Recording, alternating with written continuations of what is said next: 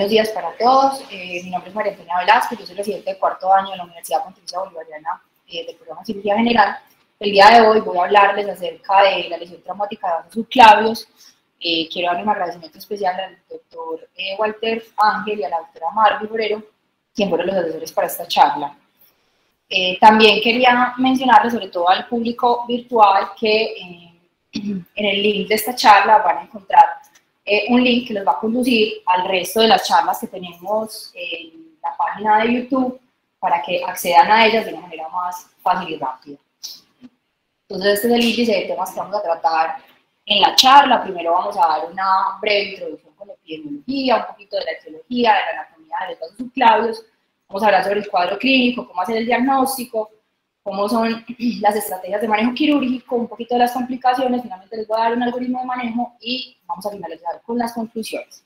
Entonces, cuando uno lee trauma de subclavia, indudablemente se tiene que dirigir al traumatismo de, de, las extremidades, especialmente las extremidades superiores. Y cuando vemos este tema, encontramos que realmente es mucho más frecuente sobre las extremidades inferiores, más o menos en un 34%, el trauma cerrado, a pesar de que no es tan frecuente que lesione eh, las extremidades superiores o que genere trauma vascular de las extremidades superiores, genera una alta mortalidad específicamente porque se asocia con altos riesgos de amputación y de mortalidad y el trauma penetrante sigue siendo más frecuente, pero como tal su mortalidad realmente no es tan alta, eh, más o menos del 3% y estaba después sangrado. En Colombia, cuando revisamos las estadísticas, vemos que es igual al resto del mundo, los miembros superiores son más afectados que los inferiores, y las heridas penetrantes son mucho más frecuentes que los traumas contusos. Las heridas por proyectil armado fue por un 49%, arma blanca en un 33% y cerrada en un 7%. Cuando ya nos vamos directamente hacia los vasos subclavios, nos damos cuenta que realmente esa lesión es poco frecuente. Menos del 5% de las lesiones eh, eh, terminan pues como en, en lesión de vasos subclavios, y esto se debe básicamente a la protección dada por la clavícula. Como tal, su gravedad está dada básicamente es porque genera una examinación rápida del paciente y porque se asocia con otras estructuras de importancia, hasta el 50% puede haber lesión de arteria y la vena concomitante, y como tal la mortalidad básicamente es mucho peor en el ámbito extrahospitalario, llegando en series casi hasta el 60%, y en intrahospitalario eh, más o menos del 10 al 30%, y eso se debe básicamente ¿por qué? al difícil acceso que se tiene a estos vasos, dado que están protegidos por la clavícula, el esternón, eh, entre otras estructuras. Como tal, el reparo quirúrgico abierto es el estándar de manejo que siempre se le ha ofrecido a estos pacientes. Y eh, esto lo que genera, básicamente, para el cirujano que se enfrenta y para todo el personal que se enfrenta a este tipo de lesiones es que es un gran reto, no solo diagnóstico, sino también terapéutico, porque los, eh, los accesos, como vamos a ver a lo largo de la charla, son bastante complejos. Entonces, cuando hablamos un poquito de la epidemiología, nos damos cuenta que, al igual que en el trauma vascular de las extremidades superiores, el trauma de vasos subclavios, eh, la etiología más importante son los traumas penetrantes, hasta el 70% de los casos, seguido el trauma contuso en un 25% y los iatrogénicos, como la infección de un catéter venoso central, hasta en el 0.5%. Ya cuando nos vamos a ir a hablar de la anatomía, entonces es muy importante que se lo tengan en cuenta. La, la arteria subclavia, como tal, tiene dos orígenes diferentes dependiendo del lado que lo miremos. Del lado derecho se va a originar a partir del tronco brachiocefálico, que es rama directa del callo de la aorta, eh, y del lado izquierdo va a ser directamente del callado, ¿cierto? Va a tener eh, asociaciones importantes con varios nervios, específicamente el nervio vago, ¿cierto? Como vemos, el nervio vago del lado izquierdo eh, lo que hace es dividirse hacia posterior, dividirse hacia posterior para dar como tal el nervio laringio recurrente, y esto es importante cuando llamamos los abordajes quirúrgicos. Del lado derecho, como ven, eh, el tronco brachiocefálico y eh, posterior a esto, el vago se va a dividir y va a dar la rama laringio recurrente para el lado derecho. En cuanto a la parte venosa, tenemos importante que el ducto torácico, miren dónde desemboca del lado izquierdo, eh, bastante cerca, pues, como, eh, como tal, a la confluencia subclavia. Cuando ya vemos las porciones de la arteria subclavia que son eh, descritas en la literatura, encontramos que hay tres porciones, primera, segunda y tercera. La primera porción va a ser esta que va a estar dibujada acá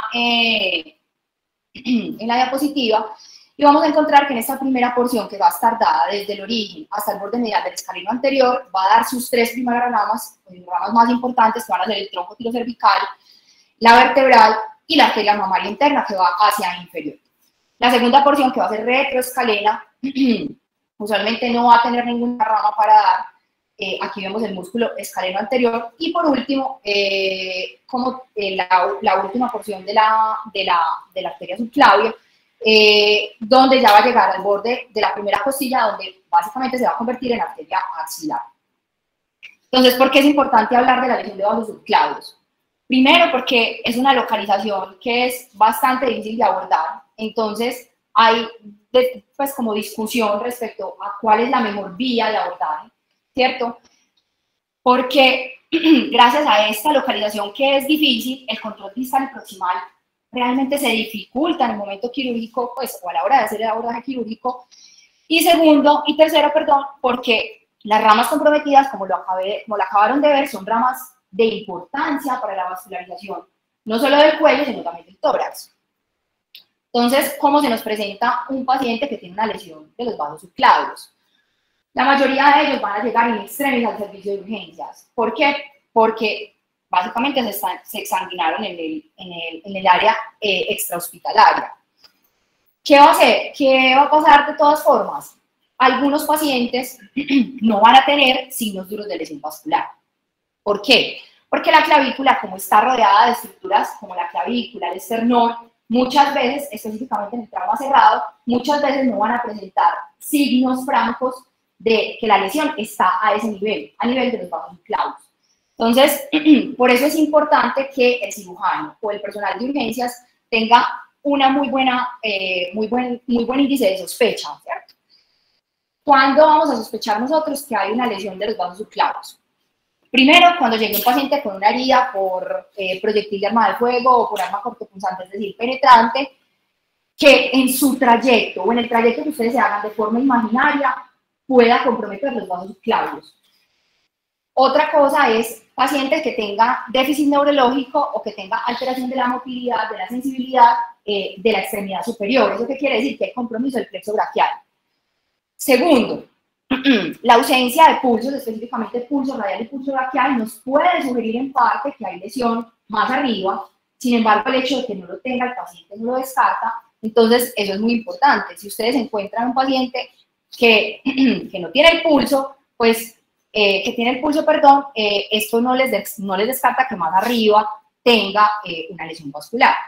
Las fracturas de la clavícula y de la primera costilla no solo nos hablan de que sufrió un trauma de alta energía, sino que también nos habla que posiblemente los vasos subclavios pueden estar lesionados y las escopulares en los niños también nos puede hablar de ello.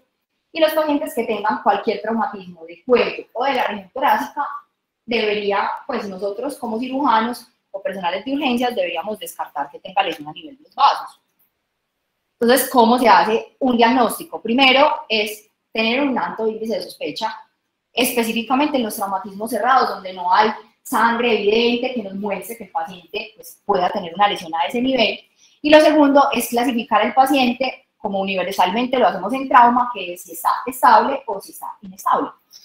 Si el paciente está estable, ¿qué nos va a dar tiempo? De hacer un diagnóstico clínico, ¿cierto? De medir un índice brazo-brazo, aunque en el servicio de urgencias vemos que esto está limitado por el ruido, ¿cierto? Pues como por todas las características del servicio de urgencias, pero es una de las estrategias clínicas que se puede utilizar para hacer el diagnóstico.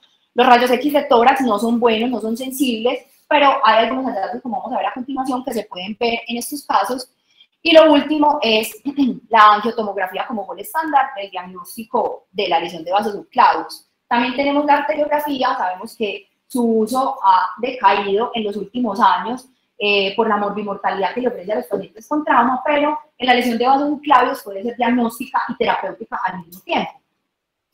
Eh, nosotros entonces lo que hacemos es pues, ordenarle los exámenes en el contexto de la estabilidad para identificar qué tipo de lesiones, transección, disección, defectos de llenado, pseudoneurismas o trombosis de los vasos. Ya si el paciente está en un contexto de inestabilidad, sin duda lo que usted tiene que hacer es llamar al cirujano o llevarlo a cirugía en caso de que usted sea el personal entrenado para afrontar esta lesión. Aquí vemos entonces la, digamos, el hallazgo radiológico y es básicamente eh, un hematoma apical, ¿cierto? Del lóbulo superior, eh, en este caso sería izquierdo, ¿cierto? Que está comprimiendo el pulmón y eso sería, digamos, un hallazgo indirecto de que la lesión vascular se encuentra a nivel de los, de los vasos subclavios. Entonces, ¿cuál es el manejo inicial de estos pacientes? Como todo en trauma, y como lo sugiere la PLS, la reanimación inicial, el control del sangrado, es, son los dos principales pilares del manejo de estos pacientes. Pero entonces, adentrémonos en el manejo específico y básicamente el manejo de estos pacientes va a estar dado, como ya lo mencioné, por la estabilidad del paciente, por la localización de la lesión y por el mecanismo del trauma, además del tiempo de evolución. Vamos a hablar primero de los pacientes estables. Eh, en estos pacientes vamos a ofrecerle dos estrategias de manejo básicamente. El manejo no operatorio y el manejo endovascular. ¿De qué depende? Básicamente del tipo de lesión que encontremos en la angiotomografía. Entonces, pacientes que tengan flaps intimales, que sean menores de 3 milímetros y que sean a favor del flujo, son pacientes que yo tranquilamente puedo decir que les puedo dar un manejo con antiagregación y que les puedo dar manejo no operatorio de su lesión. ¿Qué pasa? ¿Qué particularidad hay con esto? Que estas lesiones hasta el 10% pueden progresar y generar trombosis. Entonces el seguimiento es fundamental. y más o menos el 86%, el 86 de estas lesiones pueden resolver sin dejar una secuela alguna. Ya si nos enfrentamos a otro tipo de lesiones como pseudoneurismas, fístulas arteriovenosas eh, o trombosis específicamente, podríamos ofrecerle una terapia endovascular. ¿Qué pasa? Que esto es bastante discutido, eh, dado a que en la fisiopatología, cuando nosotros pues, revisamos, eh, los pacientes que se les ponen STEM o que se les ponen eh, como tal eh, dispositivos intravasculares en esta región donde hay altas fuerzas de cizallamiento y donde hay tanto movimiento de la cintura escapular y de la región pulmonar, el riesgo de trombosis es bastante elevado. Entonces, pero lo vamos a ver a continuación, este paradigma ha ido cambiando a lo largo de los años. Ya en cuanto al manejo operatorio, que digamos es lo que nos concierne a nosotros como cirujanos, lo primero, y a pesar de que aquí me vaya a tomar más de un segundo para explicarlo, eh, lo ideal es que el cirujano se tome el menor tiempo posible en planificar. ¿Por qué? Porque el paciente está en extremis, está muriendo. Pero siempre tómese este tiempo. ¿Dónde está la lesión? ¿Por dónde voy a abordar? ¿Cuáles son los sitios que necesito lavar? Voy a reconstruir, necesito un miembro inferior para hacer un injerto de safena. Entonces, laven el tórax, laven el miembro superior, laven el miembro inferior. Voy a hacer un short ya vamos a ver enseguida si es indicatorio o no va a Sean. Vamos a ligar, vamos a reconstruir. Listo. Planee todos los escenarios posibles y luego de esto entre a las vías de abordaje. Entonces, en la primera porción, eh, ¿cuáles son, digamos, los objetivos? Primero, evitar que el paciente se muera, que se nos examine antes de llegar al quirófano. ¿Cómo podemos hacer el control agudo del sangrado? Tenemos dos estrategias. Lo podemos hacer con una sonda Foley o con un balón de oclusión a través de radiología intervencionista. Simplemente podemos hacer manejo híbrido en caso de que lo tengamos a disposición, es decir, llamar al intervencionista y decirle, véngase, yo voy entrando, usted me va ayudando y me detiene el sangrado mientras es posible. Eh, o lo otro que también se puede hacer es a través de intervencionismo poner STEM que son para el control del sangrado. Pero en cuanto al abordaje quirúrgico, entonces, estas son las vías de abordaje que están descritas en la literatura que se pueden usar para llegar a la primera porción de la subclavia, que como dijimos es desde el origen hasta el borde medial del escalino. Entonces, del lado izquierdo, ¿qué se ha descrito? Que usted puede hacer una toracotomía anterolateral alta, es decir, en el tercer o en el cuarto espacio, algunos dicen que en el segundo, que lo puede acompañar de una incisión supraclavicular, incluso de una esternotomía, ¿cierto? La el, de, eso sería del lado izquierdo. Del lado derecho, entonces tenemos que podríamos abordar el paciente con una esternotomía más una extensión supraclavicular, ¿cierto? O que podríamos hacer, eh, eh, pues, la incisión que está aquí mostrada en la parte inferior, que sería el trapdoor. Y la última incisión es una incisión supraclavicular con incisión de la clavícula, es decir, cortamos el hueso clavicular y ahí tenemos acceso a todas las porciones. Aquí vemos un ejemplo de eh, una incisión supraclavicular con incisión de la clavícula. Aquí vemos la clavícula completamente seccionada y aquí vemos la primera porción de la clavícula perfectamente eh, la, la primera pues, rama, la vertebral, el tronco tirocervical y la mamar interna, o sea, vemos que tenemos un acceso completo.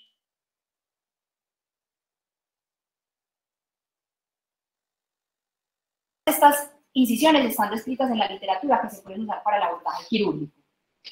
No hay recomendaciones respecto a usar una o usar otra en la literatura, pero cuando uno habla con los diferentes eh, profesionales que hacen este tipo de incisiones o que están familiarizados con el abordaje, nos damos cuenta que realmente hacer un trapdoor o hacer, por ejemplo, una toracotomía en el segundo, en el tercer espacio, con una incisión supraclavicular, primero, no nos da tan buen acceso a los vasos subclavios, sobre todo por toracotomía. Es difícil llegar, es, sobre todo en el contexto del trauma, en el estrés del trauma. Y segundo, hacer un trapdoor en un paciente que se está exsanguinando, que posiblemente está coagulopático hipotérmico.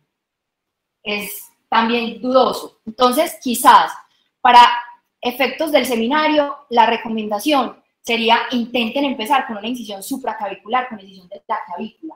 Es un abordaje que si bien uno creería que es difícil seccionar la clavícula, no es tan difícil, puesto que es solo una articulación y realmente de componente cartilaginoso muy fácil de luxar y de cortar, y que le favorece menos morbilidad al paciente. Cuando ya hablamos de la segunda y de la tercera porción, entonces tenemos también estos vías de abordaje, la incisión supraclavicular, como lo habíamos mencionado con incisión de la clavícula, y simplemente eh, la incisión supraclavicular sin incisión de la misma. ¿Qué es importante acá? Tengan control de los vasos axilares. La arteria subclavia se convierte en axilar, ya lo mencionamos, entonces siempre hagan un control distal y proximal la, esa incisión que ustedes hicieron su placa clavicular, extiéndala hacia la parte inferior para que tenga acceso adecuado del, pues, de la parte distal de sus vasos y para que pueda hacer, en caso tal de que lo necesite o de que usted lo quiera hacer, una reconstrucción o una anastomosis Aquí está la exposición que vamos a tener de los vasos, de los vasos axilares. ¿Qué precauciones tienen que tener con todas estas vías de abordaje? Aquí se los menciono. Lo primero es el nervio frénico siempre se lo van a encontrar cuando hagan la incisión y se encuentren de entrada con el escaleno anterior.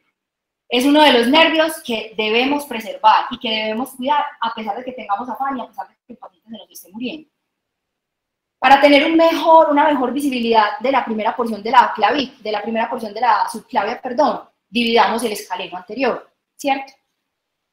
Cuando entremos en cualquiera de las incisiones supraclaviculares o infra, vamos a ver que la vena siempre va a estar de primera.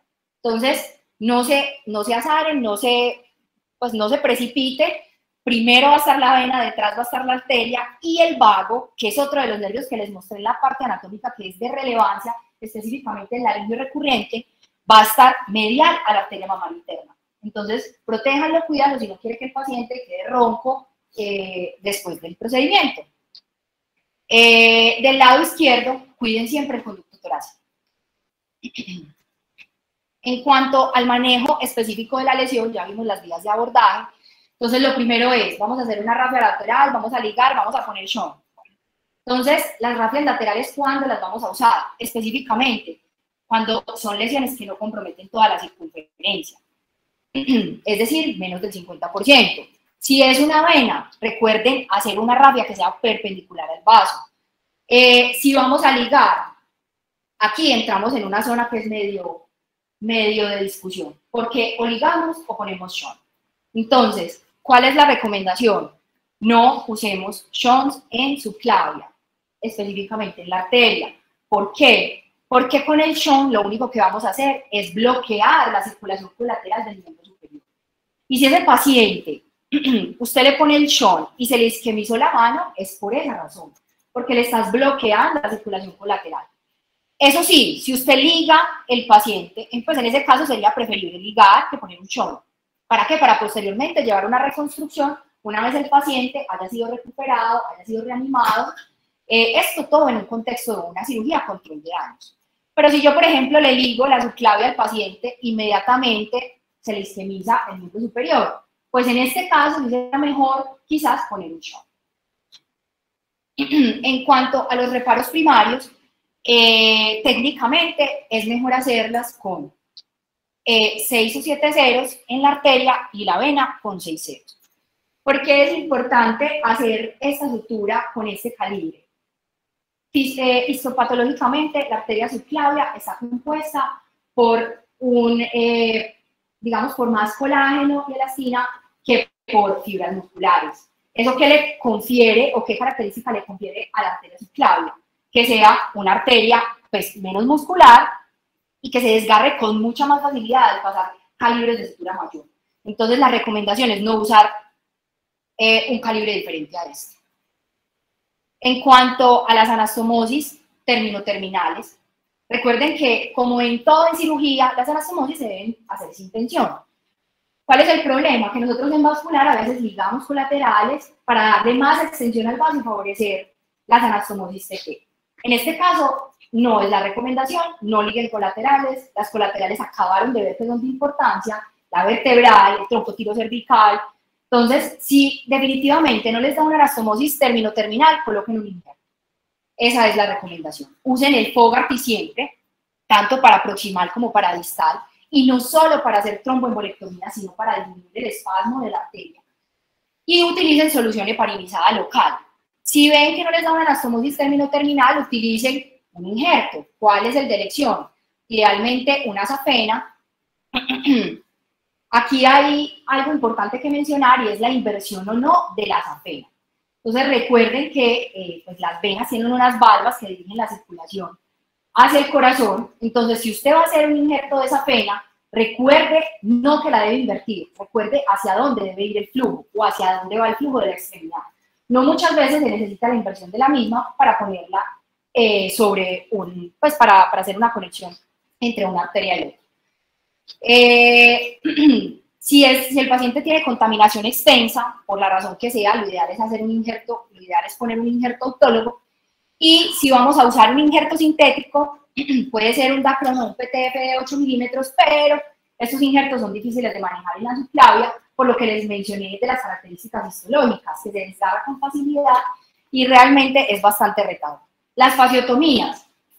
Sobre las fasciotomías hay algo particular y es que no se puede extrapolar la información de los miembros inferiores a los miembros superiores. Todo paciente que tenga lesión de arteria y vena le vamos a hacer fasciotomías, no necesariamente. Todo paciente que lleve más de seis horas con un trauma vascular, le vamos a hacer facetomías, no necesariamente. Aquí la idea es individualizar a cada paciente y mirar cómo está perfilada la extremidad, qué tanto edema tiene. Es básicamente la recomendación que les puedo dar. En cuanto al manejo endovascular, entonces aquí ya entramos en una zona bastante gris respecto eh, al manejo de estos pacientes, pues todavía no se ha dicho completamente que sea lo mejor o que sea superior al manejo operatorio. Y estas, cuando uno revisa la literatura, se da cuenta que estas son las indicaciones que se reportan. En general, como lo mencionamos en pacientes estables, que tengan lesiones, como lo mencionamos en las diapositivas anteriores, que tengan transecciones del vaso que sean menores del 50%, que tengan pseudoneurismas, fístulas arteriovenosas, a pacientes a, las a, los que les vayamos a hacer manejo híbrido o a los que en el contexto de la hemorragia aguda les vayamos a hacer una, eh, un manejo con balón de oclusión o un STEM para mejorar el sangrado. ¿Cuáles son las limitaciones del manejo endovascular? Que en el contexto de infección todavía no está muy claro realmente si sí se pueden usar. Que el riesgo de trombosis, como se los mencioné, dado las fuerzas de cizallamiento y el gran movimiento de las cinturas populares es bastante alto y eso va directamente asociado con la durabilidad. Entonces aquí les traigo como una recopilación de la evidencia más importante acerca de si el manejo endovascular es útil o no en estos pacientes. Y encontramos este estudio eh, que fue publicado en el 2017, una de las series más grandes eh, de comparación retrospectiva del manejo de vasos subclavios, eh, comparado abierto versus endovascular versus híbrido versus no operatorio. Fueron en total 238 pacientes del 2004 al 2014 mm, en 11 instituciones de trauma. Aquí están los porcentajes de los pacientes que se llevaron a manejo endovascular abierto, híbrido y manejo no operatorio. Y acá tenemos los resultados de más relevancia, de más importancia del estudio. ¿Y qué encontramos? Que los pacientes que fueron llevados a manejo abierto, es decir, 135 pacientes, el 5% se trombosaron. De los que se llevaron a manejo endovascular, el 6% se trombosaron. Y esto en un seguimiento a cuánto? A 238 días, es decir, menos de un año. la permeabilidad del manejo endovascular, como ven acá, realmente fue bastante buena, si lo analizamos. ¿Qué pasa? Que junto con estos, pues este estudio, junto con los que le voy a mencionar a continuación, tiene un importante sesgo de selección. Bueno, no sesgo de selección, tiene un importante sesgo. ¿Y cuál es?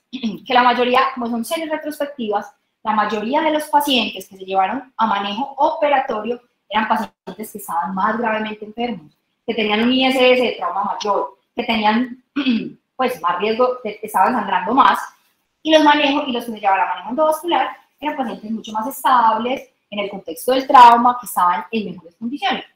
Entonces, eso realmente limita para mí la interpretación de estos resultados, porque siempre el riesgo de amputación va a ser mayor, el riesgo de muerte va a ser mayor, de reintervención va a ser mayor, pero realmente qué tanto está interviniendo el hecho de que los pacientes operados estaban más graves versus los que estaban o los que eran llevados a manejo endovascular.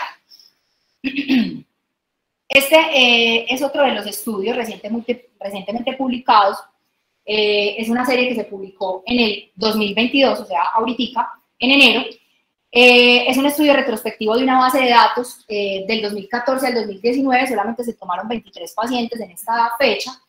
Eh, de estos, 78% requirieron alguna intervención, 11 endovascular y 7 fueron a cirugía y 21 pacientes fueron sometidos a manejo médico.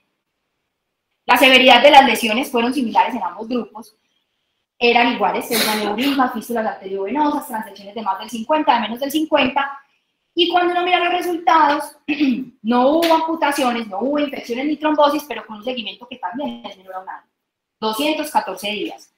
Sí, tienes menos estancia hospitalaria los que se llevan a manejo vascular, tienes menos sangrado, la severidad del trauma es menor, pero entonces eso cómo afecta realmente o impacta eh, los desenlaces del manejo endovascular y lo favorecen versus el manejo operatorio. Este es el último estudio Es un estudio que fue publicado eh, en el 2014. Eh, realmente es una revisión de la literatura, no es, eh, no es un estudio retrospectivo, sino una revisión sistemática. Y ellos lo que hacen es tratar de revisar como todas las series de casos de pacientes que se han llevado manejo endovascular versus manejo abierto. Y se dieron cuenta que las, las lesiones que fueron llevadas a manejo endovascular realmente no tenían diferencia respecto a las que eran llevadas a manejo abierto, al igual que el estudio anterior, y que eh, la terapia endovascular tenía un éxito de hasta el 96.5% con solo una muerte y con un seguimiento a 70 meses que daba una permeabilidad del 84.6% y una estenosis menor del 50% del 4.4%. Con estos datos, ¿qué le queda a uno por pensar? Que quizás el manejo endovascular sí tiene un papel en los pacientes con trauma de subclávula ¿Qué pasa? Que hay que elegir muy bien qué pacientes vamos a llevar a este manejo endovascular. En el contexto agudo puede tener un papel también de importancia y no es despreciable. Sobre qué pasa, digamos, en Colombia, que no tenemos esa posibilidad de tener intervencionistas a la mano y decir, venga, ya que es que voy a entrar a operar el paciente. Quizás no lo tenemos a disposición. Pero en traumas menos severos, donde hayan transecciones menos del 50, pseudoneurismas pequeños, arteriovenosas, quizás sea una opción terapéutica que ofrecerle a los pacientes. Eh, yo lo único que les digo es interpretemos esto con precaución. En cuanto a las complicaciones de la lesión por vasos, de vasos, pues de la lesión de este tipo de vasos, la pérdida de la extremidad es una de las más temidas, solamente se dan el 2.4 al 2.9%, y los factores de riesgo que se han reportado en la literatura para esto son la lesión de arteria y vena, que sea un trauma contuso, que, sea, que se haga un reparo abierto de la lesión y que tenga lesión concomitante del plexo brachial.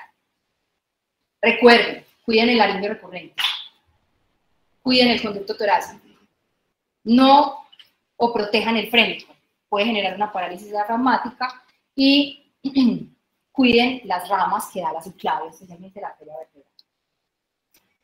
Este es un pequeño algoritmo de manejo que de acuerdo a la revisión de la literatura que hice les traje para que tengamos más o menos en mente lo que podemos hacer cuando nos llega un paciente con una lesión de vasos subclavios y es primero, ¿el paciente está estable o está inestable? Si estamos en un contexto de estabilidad y el paciente tiene signos duros de lesión vascular, lo podemos llevar no directamente a una angiotomografía, sino a una arteriografía.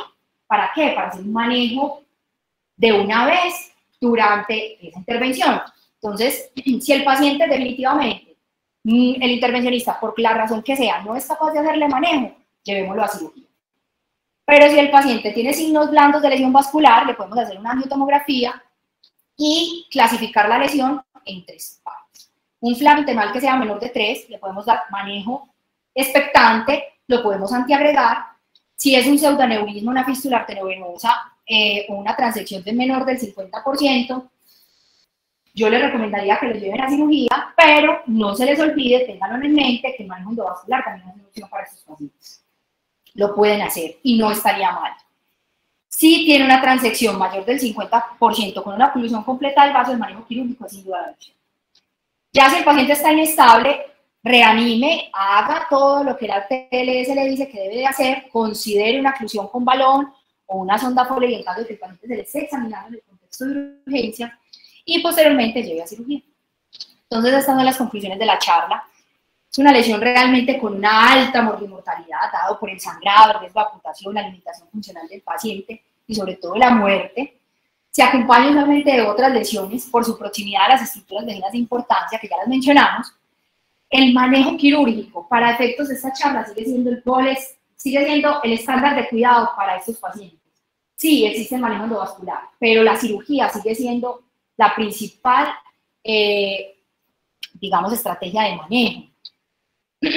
Un buen abordaje para efectos de la charla es iniciar supraclavicular y quitar la clavícula, le ofrece menos movilidad al paciente. En el contexto del trauma es mucho más fácil que hacer, digamos, una toracotomía anterolateral alta o hacer una esternotomía. El manejo operatorio también es una opción viable, no se les olvide, no lo desprecien. Y no hay evidencia de con qué o en cuánto tiempo debemos hacer el seguimiento de esos pacientes que se llevan a manejo no operatorio. Sin embargo, eh, el seguimiento mediante angiotomografía o mediante Doppler es lo que se ha escrito en la literatura eh, que se puede realizar. Muchísimas gracias. You may not